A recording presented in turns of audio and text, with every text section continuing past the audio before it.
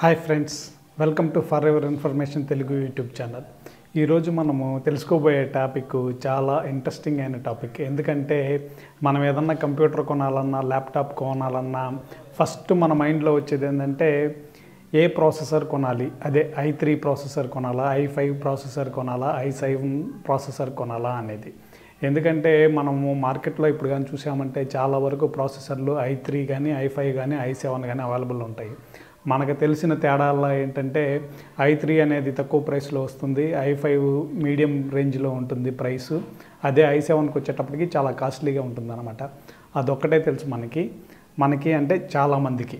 ఆ చాలామందికి అసలు యాక్చువల్గా ఐ త్రీ దేనికి ఉపయోగపడుతుంది? ఐ ఫైవ్కి ఐ త్రీకి ఐ సెవెన్కి మధ్య డిఫరెన్సెస్ ఏంటి? అవి జనరేషన్స్ అంటే ఏంటి? వాటిల్లో జనరేషన్స్ అంటే ఏమిటి? వాటిని ఎవరు కొనుక్కుంటే ఎవరికి మంచిది అనేది చాలామందికి తెలియదు. ఈరోజు నేను మీకు ఈ వీడియోలో i three i five i seven differences ఎవరు ఏ ప్రాసెసర్ కొనుక్కుంటే బాగుంటుంది అనేది నేను మీకు ఈ వీడియోలో తెలియజేస్తాను. ఐ ఫైవ్కి ఐ సెవెన్కి ఐ త్రీకి డిఫరెన్సెస్ తెలుసుకునే ముందు మనం ఫస్ట్ జనరేషన్స్ అంటే ఏంటో తెలుసుకోవాలన్నమాట.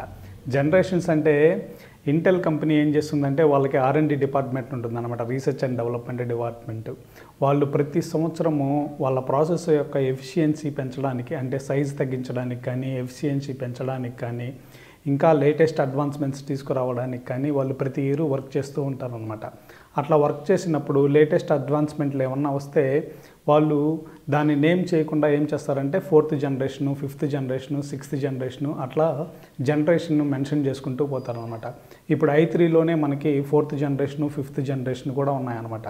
అంటే దీనివల్ల ఏంటంటే ఎంత లేటెస్ట్ జనరేషన్ ప్రాసెసర్ అయితే అంత అడ్వాన్స్డ్ ప్రాసెసర్ అనమాట అంత బాగా పనిచేస్తుంది. అందుకని మనం ఎప్పుడైనా సరే ల్యాప్టాప్ కొనేటప్పుడు ఐ త్రీయా ఐ ఫైవ్ ఐ సెవెన్ అనే కాకుండా ఐ త్రీలో ఏ జనరేషన్ అంటే థర్డ్ జనరేషనా ఫోర్త్ జనరేషనా ఫిఫ్త్ జనరేషనా అనేది కూడా చూసుకుంటే మంచిదన్నమాట. ఇప్పుడు మన మెయిన్ టాపిక్ ఐ త్రీకి ఐ ఫైవ్కి ఐ సెవెన్కి తేడా ఏమిటి అని తెలుసుకోబోయే ముందు ఇంకో రెండు విషయాలు కూడా మనం తెలుసుకోవాలి. అవేంటంటే క్లాక్ స్పీడ్ రెండోది వచ్చి హైపర్ థ్రెడ్డింగ్.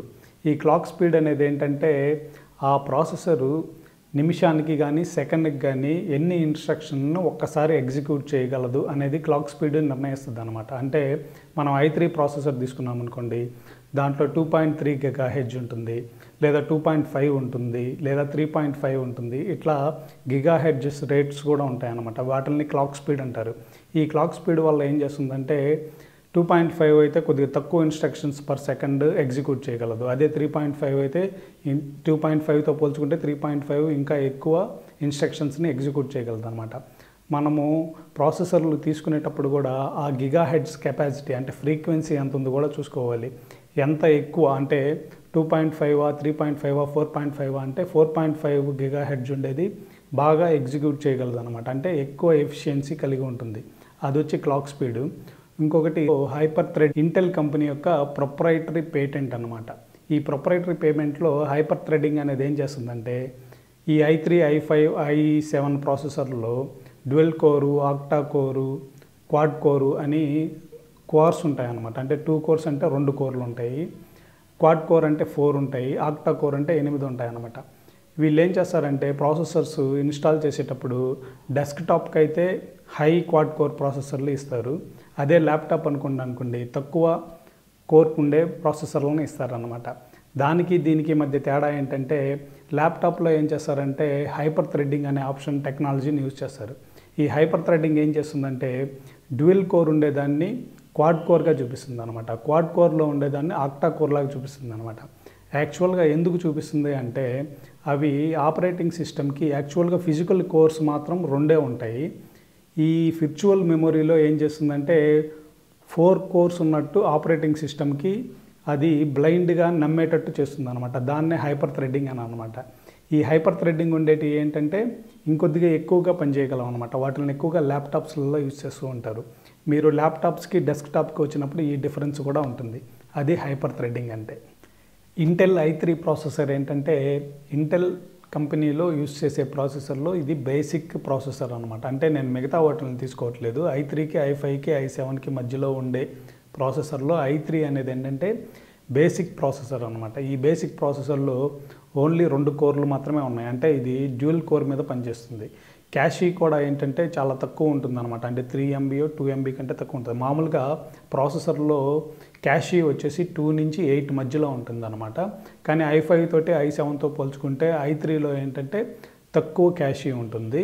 ఇది హైపర్ హైపర్ థ్రెడ్ ఎనేబుల్డ్ అనమాట దీనివల్ల ఏంటంటే ల్యాప్టాప్లో కానీ ఐ త్రీ యూజ్ చేసామంటే క్వాడ్ కోర్ లాగా కూడా పనిచేస్తుంది అనమాట విర్చువల్గా ఆపరేటింగ్ సిస్టమ్ ఏం ఫీల్ అవుతుందంటే ఇది క్వాడ్ కోర్ ల్యాప్టాప్ ప్రాసెసర్ అని ఫీల్ అయ్యేటట్టు చేస్తుంది అనమాట ఈ ఐ త్రీ ప్రాసెసర్ ఎవరెవరికి ఉపయోగపడుతుందంటే రెగ్యులర్గా హోమ్లో యూజ్ చేసే వాళ్ళకి చిన్న చిన్న ఆఫీస్ వర్క్లు మైక్రోసాఫ్ట్ ఆఫీసు ఎక్సెల్ వీటిలో వర్క్ చేసే వాళ్ళకి చిన్న చిన్న వీడియో ఎడిటింగ్లు చేసే వాళ్ళకి ఇలాంటి వాళ్ళకి ఐ త్రీ ప్రాసెసర్ చాలా బాగా పనికొస్తుంది అనమాట మీరు ఒకవేళ చిన్న చిన్న గేమ్స్ అంటే హై ఎండ్ గేమ్ కాకుండా చిన్న చిన్న గేమ్స్ ఏదన్నా ఆడుకోవాలనుకున్నా కూడా ఐ త్రీ ప్రాసెసర్ చాలా వర్క్ బాగా చేస్తుంది అనమాట అంటే మీరు రెగ్యులర్ యూసేజీ ఇంటర్నెట్ బ్రౌజింగ్ చిన్న చిన్న గేమ్స్ ఆడుకుంటూ ఏదో మైక్రోసాఫ్ట్ ఆక్స్ఫైస్ ఎక్సెల్ ఇలాంటి యూస్ చేస్తున్నారు అనుకోండి మీకు ఐ త్రీ చాలా వరకు సఫిషియెంట్గా సరిపోతుంది. మీరు ఐ ఫైవ్ ఐ సెవెన్కి వెళ్ళాల్సిన అవసరమే లేదన్నమాట. ఇప్పుడు ఇంటెల్ ఐ ఫైవ్ ప్రాసెసర్ తీసుకుంటే ఐ ఫైవ్ ప్రాసెసర్లో రెండు రకాల ప్రాసెసర్స్ వస్తాయి. ఒకటి డ్యూయల్ కోర్ ప్రాసెసర్ వస్తుంది రెండు వచ్చి క్వాడ్ కోర్ ప్రాసెసర్ వస్తుంది అనమాట డ్యూయల్ కోర్ ప్రాసెసర్ని ఎక్కువగా ల్యాప్టాప్లో యూస్ చేస్తూ ఉంటారు. మీరు పీసీకి వాటిల్లో చూసారంటే ఎక్కువ ఐ ఫైవ్ వచ్చి డ్యూయల్ కాకుండా క్వాడ్ కోర్ ప్రాసెసర్లు ఉంటాయన్నమాట దాంట్లో.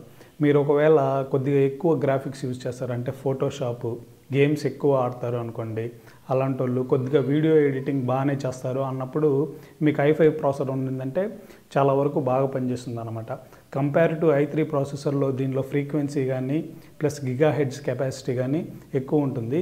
దీంట్లో కూడా fourth generation fifth generation third generation అనే డిఫరెంట్ జనరేషన్స్ ఉన్నాయి. మీరు ల్యాప్టాప్ తీసుకునే ముందు హయ్యెస్ట్ జనరేషన్ అంటే లేటెస్ట్ జనరేషన్ది క్వాడ్ కోర్ది తీసుకున్నారంటే చాలా వరకు మీకు ఉపయోగపడుతుంది అనమాట మ్యాక్సిమం ల్యాప్టాప్లో ఏం చేస్తారంటే ఐ ఫైవ్లో డ్యువెల్ కోరే యూజ్ చేస్తుంటారు. మీరు కొనే ముందు డ్యువెల్ కోర్ ఉందా క్వాడ్ కోర్ ఉందా ఒకసారి చెక్ చేసి తీసుకోండి. ఇప్పుడు ఇంటెల్ ఐ సెవెన్ ప్రాసెసర్ గురించి తెలుసుకుందాము. ఇదేంటంటే హయ్యెస్ట్ కెపాసిటీ ఎఫిషియంట్ ప్రాసెసర్ ప్రస్తుతానికి అవైలబుల్ మార్కెట్లో ఉండే దాంట్లో ఐ సెవెన్ అనేది చాలా ఎఫిషియంట్ ప్రాసెసర్ అనమాట దీంట్లో కూడా డ్యూయల్ కోరు క్వాడ్ కోరు ఆక్టా కోరు మూడు రకాలు ఉంటాయి. అవి కూడా మీరు ఐ సెవెన్ ప్రాసెసర్ అన్నంత మాత్రాన దాన్ని పర్చేజ్ చేస్తే సరిపోదు. యాక్చువల్గా మీరు దాంట్లో ఐ సెవెన్లో డ్యూయల్ కోర్ ఉందా క్వాడ్ కోర్ ఉందా ఆక్టా కోర్ ఉందా ఒకసారి చెక్ చేసుకోండి. దాంట్లో కూడా latest generation fourth generation fifth generation వచ్చున్నాయి. అవి కూడా మీరు ఒకసారి చెక్ చేసి ఏ జనరేషన్ అయితే మీకు బాగుంటుంది అనుకుంటారో ఆ జనరేషన్ని బట్టి తీసుకోండి. ఇది ఎవరికి ఉపయోగపడుతుందంటే విజువల్ ఎఫెక్ట్స్ చేసే వాళ్ళకి. Video editing high and video editing చేసే వాళ్ళకి ఫోర్ కే వీడియోస్ని బాగా ఎడిటింగ్ అంటే ఫోర్ కే వీడియోస్ షూట్ చేసి వాటిని రెండప్ చేయాలనుకునే వాళ్ళకి ప్లస్ హై అండ్ గేమ్స్ ఆడుకునే వాళ్ళకి వీళ్ళందరికీ ఐ సెవెన్ ప్రాసెసర్ చాలా ఉపయోగపడుతుంది అనమాట మీరు ఐ సెవెన్ ప్రాసెసర్ని అంటే మీరు ఎక్స్ట్రీమ్ యూజర్స్ అయితే కంప్యూటర్లో చాలా వరకు గ్రాఫిక్స్ తోటి విజువల్ ఎఫెక్ట్స్ తోటి గేమ్స్ ఇవన్నీ చేయాలి అనుకుంటే మీకు ఐ ప్రాసెసర్ చాలా వరకు ఉపయోగపడుతుంది.